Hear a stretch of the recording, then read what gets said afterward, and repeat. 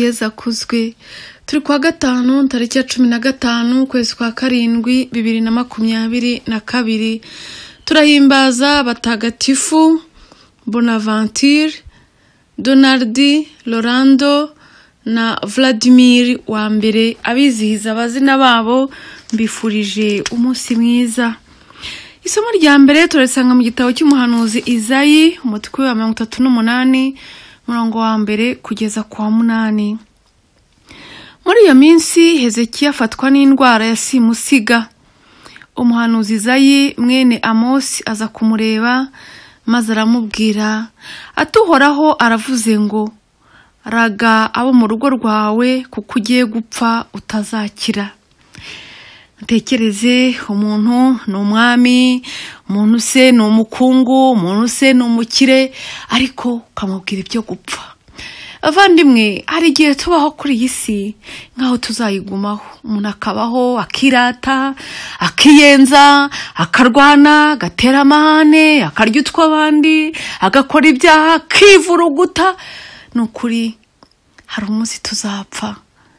Hari umunsi tuzava muri ubu buzima kandi duherekezwe n'imirimo yacu. Uko waba ukora kose uko waba umeze kose hari ibyo utazajyana. Hari ikintu kijya kintangaza iyo umuntu apfuye batangira kumwambura ibintu by'agaciro. Ibintu by'agaciro wari wariruhiye wowe ubwawe. Wambaye zahabu bakayikuvanamo. Iyo bagize neza bakwambika ishapure wambaye isaha nziza bakayikuvanamo. Imyenda myiza warunze yindi yose irunze mu kabati kawe ujyana ingahe se? Wenda ibiri cyangwa itatu. Amafaranga waruhiye ukayasiga. Bagahita bayigabanya ku kagenda nubwo barindira ko gushyingura. Bavandimwe rero mureke duharanire ijuru hakiri kare kuko niwo murage niwo mugabane tutazamburwa. Uwo nguwo kandi wubakwa n'ibikorwa byiza byacu. Hezekiya rero yerekeza amaso ku rukuta asaba uhoraho agira ati ndagusabye uhoraho ibuka ko nagenze imbere yawe n'umurava mwinshi kandi n'umutima utunganye ngakora ibigushimishije. Nuko hezekiya asuka amarira menshi cyane. Birumvikana ntabwo byari byoroshye. Ni uko uhoraho abwirizaho muri aya magambo ati genda ubwire hezekiya uti uhoraho imana ya sokuruza dawudi aravuze ngo numvise amasengesho yawe mbona n'amarira yawe. None ngiye kugukiza ndetse mu minsi itatu uzashobora kuzamuka ujye mu ngoro y'uhoraho. Uhoraho ni umunyampuhwe yaje kudukiza yaje kudukiza kugeza ku rupfu. Bavandimwe mureke dukingurire imana mu mateka yacu kandi natwe twicishe bugufi. Dutakambira imana. Reka burya iyo utakambiye imana irakumva iragusubiza. Iragutabara iraguhumuriza. Hezekiya yatakambiye uhoraho imana iramwumva maze nawe azamuka ajya mu ngoro kwishimira. Ntimwongereho imyaka cumi n'itanu ku gihe wari kuzabaho. Bavandimwe twebwe imana yatwongereye imyaka myinshi. Abanyarwanda twongerewe imyaka. Buri wese hari imyaka yongereweho. Iyo myaka wayimajije iki? Ko cumi n'itanu wayirengeje.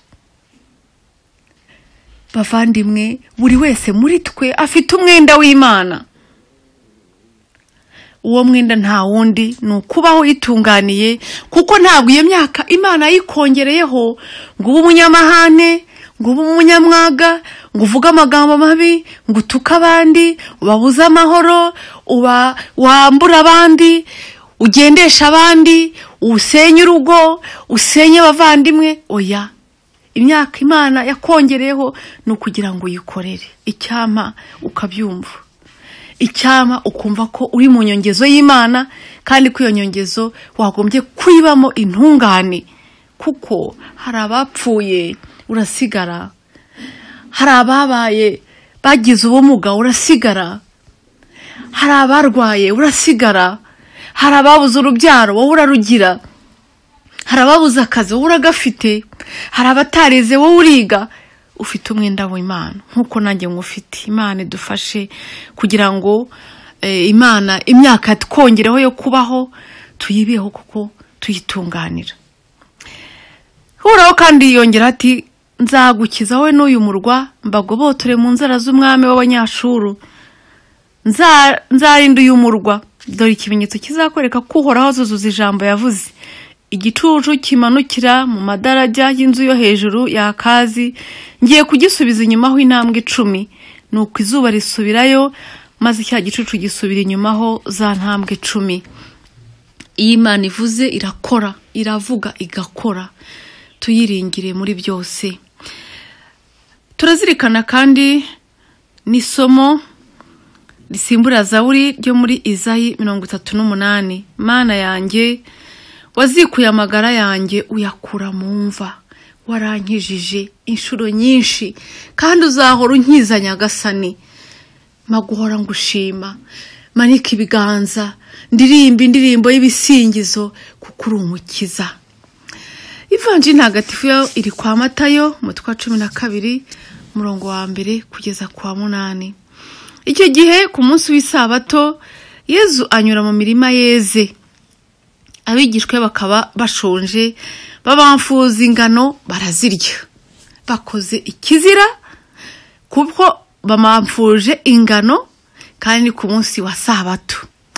Eh, ba bandi rero b'abagenzuzi bahora hafi babibonye baramubwira bati dorere.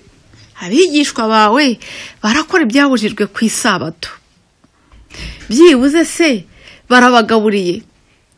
Byibuze se barareba ko bashonje. Reka da ikibashishikaje ni isabato waba ushonje cyangwa udashonje ibyo ntacyo bibabwiye. Hari abantu bakurikiza amategeko pe ariko ari abatindi. Umuntu akajya mu misa agatanga icya cumi akajya mu rusengero akaririmba agatanga icya cumi agakora imirimo igaragara ariko yataha. Ntavuga rero umuturanyi ntahembe umukozi. Agacura umukozi we. Hari abantu barya bagacura abakozi mu rugo. Hari abantu baherutse kumpa ubuhamya bari bafite umukozi. Bamufataga neza. Ariko bari baturanye n'abandi. Umukozi ntabwo yaryaga. Bamuhaga ibiryo bimaze nk'iminsi itatu bimwe mbese bananiwe kurya. Rero ntabwo ari byo. Kubahiriza sabato ni ugushyira urukundo mu mitima yacu. Kuko sabato ibuze urukundo nta kimaze. Sabato ibibuze ubumuntu nta kimaze. Abanyarwanda benshi hejuru ya mirongo icyenda ku ijana bemera imana. Ariko se ko tubona divorce? Tukabona abasinzi tukabona abasambanyi tukabona abajura bava hehe. Barava hehe. Kandi hejuru ya mirongo icyenda ku ijana ari abakirisitu. Cyangwa se bemera imana. Bavandimwe rwose dusabe nyagasani ahindura imitima yacu. Kuko uhora tugenzura gusa ko twubahirije amategeko cyangwa abayubahirije ntacyo bimaze. Nagize amahirwe yo kujya mpura n'abantu benshi banyuranye mu madini anyuranye. Ariko usanga tuyarimo gusa byo kuyabamo. Nk'indorerezi. Muvandimwe uzahereza he kuba indorerezi? Uzahereza he kuba indorerezi mu muryango usengeramo? Uzahereza he kuba indorerezi muri kiliziya y'imana? Uzahereza he kuba indorerezi mu itorero usengeramo? Kandi abantu b'indorerezi nibo babona ibitagenda neza. Kuko rega baba bafite n'umwanya. Ariko mubwire ko umurimo wo kuba indorerezi ntawe uzawuguhembera. Yezu rero harababwira ati ntimwasomye uko dawudi yabigenjereje igihe yari ashonje we nabo bari kumwe. Uko yinjiye mu ngoro y'imana n'uko bari imigati y'umumuriko batashoboraga kurya kuko yari igenewe abaherezabitambo bonyine. Yezu abibutsa umuntu nka dawudi bubaha bakunda bashima. Cyangwa se ntimwasomye mu mategeko uko abaherezabitambo bakoraga mu ngoro y'imana ku munsi w'isabato bahora bica ikiruhuko cyayo ntibibabere icyaha. Nyamara rero ndabibabwiye hano hari igitambutse iyo ngoro. Iyo musobanukirwa n'iri jambo ngo icyo nshaka ni impuhwe si igitambo. Ntimuba mwarahamije icyaha abaziranenge kuko umwana w'umuntu ni umugenga wa sabato. Yezu asumba sabato. Yezu ni urukundo ruzima ni imana nzima ni umwami w'abami ategeka sabato. Mukurikire kandi ibyo azakubwira uzabikore. Muvandimwe gukurikira kirisitu biratubohora. Bitubohora ku mategeko bitubohora ku mihango bitubohora ku bintu twiziritseho ariko bidahindura imitima yacu. Mureke rero aho kurangamira isabato aho kurangamira amategeko turangamire kirisitu azatumurikira kandi atubwire uko dukwiye kwitwara bimuhesha ikuzo. Abane nawe kandi umugisha we uguhoreho urakabaho.